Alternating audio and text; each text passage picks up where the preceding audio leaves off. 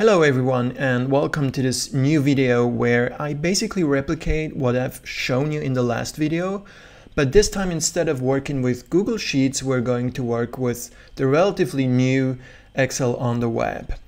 And so basically we're starting the same way. We're going to this repository.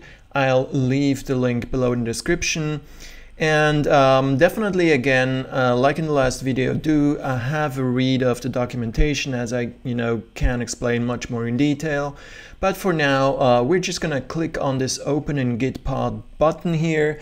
This will basically um, you know come up with a pre-configured cloud-based environment that enables us to very quickly have a working development environment to work with our cloud instances of, you know, Google Sheets or in this case, Excel on the web. And as you can see here, just a few moments later, we have a working environment up and running. And so what we're going to do now is we're going to go into this JSON folder and this time we're going to open the Excel version of the JavaScript script, our Office script module.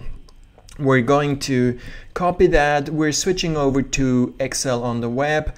And I'm just going to say on the Automate tab here, um, add new script. And now I'm just going to replace whatever we have here with that script from over here. And then I need to save that script and then I'm able to already run it and you can see that it does print hello xlwings in my cell A1. And so what happened here is that in my app folder, I do have the main.py where we have this hello world function. And so it's basically, you know, traditional xlwings code here just wrapped into a uh, web endpoint that is exposed by our web framework of choice here, FastAPI in the example. And so if I want to change this to by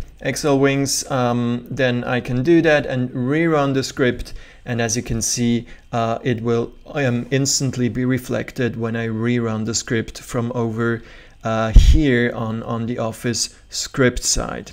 Now, as I showed you in the other video for Google Sheets, uh, we're just gonna, you know, run something slightly a little bit more interesting, which is using the, the, the, the Yahoo call here using the yfinance package. And so I'm going to go here into the uh, into our function here on on Apple on on on, on um, Office script and I'm going to change that hello here with the other endpoint which is the Yahoo one.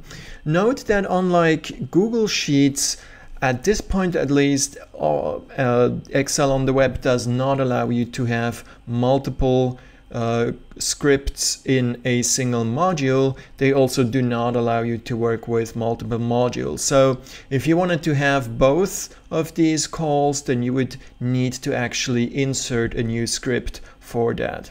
Now I'm also going, well, first of all, not just yet. So let's run this script again. And if you've seen the video from last week, then you see that it inserts basically this this part of the code, which is responsible for just, you know, adding a new sheet with basically the template for us to query Google, uh, sorry, Yahoo Finance. And so at this point, I'm going to say, uh, click on these three dotted points there and say add button. That will unfortunately quite the, you know, insert quite an ugly button at this point in time, but I don't really care much, uh, except that it gives me a bit of a quicker way of accessing this functionality. So I'm just going to go with those defaults. I'm going to click the button and uh, you can see it still, I mean, it does take a while to actually spin, but then it's relatively it's re working relatively well. I can also make this disappear although when I click on it it'll come back. So same procedure as as on on Google Sheets. If I change uh, the the beginning for example of the um, the you know the beginning of, of, of the time series then I will get uh, you know accordingly much more data back and then maybe I can switch again my ticker here and and go back again to uh, this year uh, rerun that script and that should then give me again a smaller time series here but for the Apple stock this time.